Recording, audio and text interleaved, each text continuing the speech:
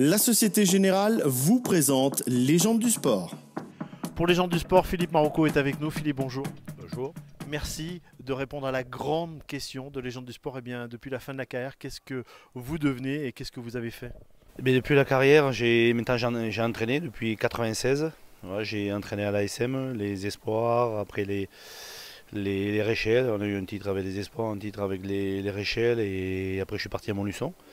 On a fait une fusion à Montluçon entre les îlets et le stade de Montluçonnet. Après je suis parti deux saisons en C-Julienne, à Haute-Vienne, en fédéral, en fédéral 2 et après en fédéral 1. Qu'est-ce qui vous fait vibrer dans, dans la gestion de, de l'entraînement, dans, dans la gestion des hommes et, et ce sport?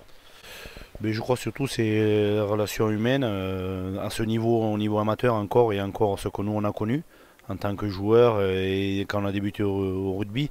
Après c'est vrai que maintenant les, les mœurs sont changées et tout a évolué.